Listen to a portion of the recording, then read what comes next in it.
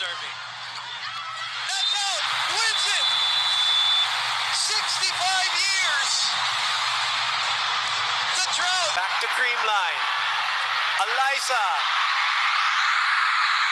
Put away from Dina Wall. National U tinalo ang Flying Titans. Adamson nag-iingay na tuloy-tuloy na kaya hanggang sa season 85.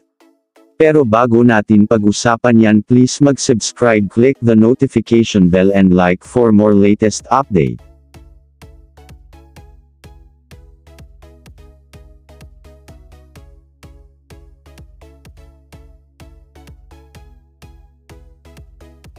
Kabi-kabila nga ang nagaganap na Pro versus UAAP tune-up game match-up bago ang pagsisimula ng Pro at Collegiate season ng bansa.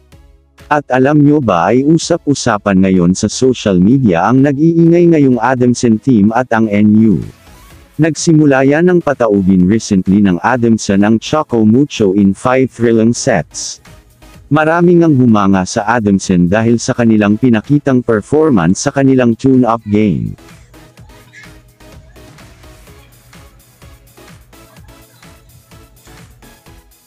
May ilan kasing nagsasabi na na-sweep di umano ng Falcons ang lahat ng kanilang nakatune up at tanging ang CMFT lamang ang nakapalag sa mga ito. Kung ang Adamson ay napalaban ng matagal dahil sa extension sa 5th set ay ibahin nyo ang NU.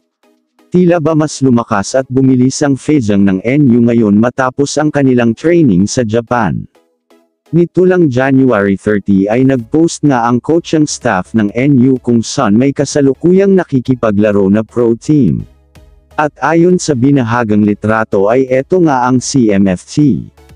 At ayon sa insider ay muling nagwagi ang NU in 4 sets.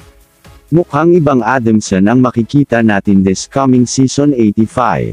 At mas nakakatakot na NU naman ang kakahol sa mag-a-attempt na suwagin sila. Nakaka-excite talaga ang UAAP. So that's it mga ka-latest please don't forget to subscribe and click the notification bell for more hottest intense and latest volleyball action thank you sa suporta keep safe and see you on my next videos.